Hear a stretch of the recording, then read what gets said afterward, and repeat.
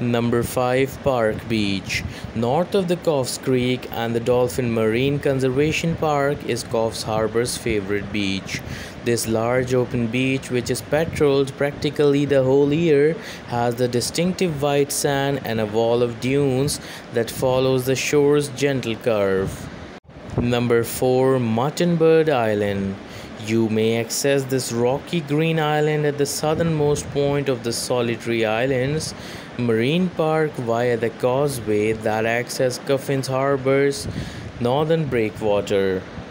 Number 3 North Coast Regional Botanic Garden. The Coffs Creek waters encircles the subtropical Botanic Garden in Coffs Harbour on three sides, making it the most picturesque in all of northern New South Wales. Number 2 The Big Banana Fun Park. Here in Coffs Harbour is the biggest amusement park between Sydney and the Gold Coast. Since opening its doors in 1964, the Big Banana Fun Park has been a banana farm. Number 1 Forest Sky Pier.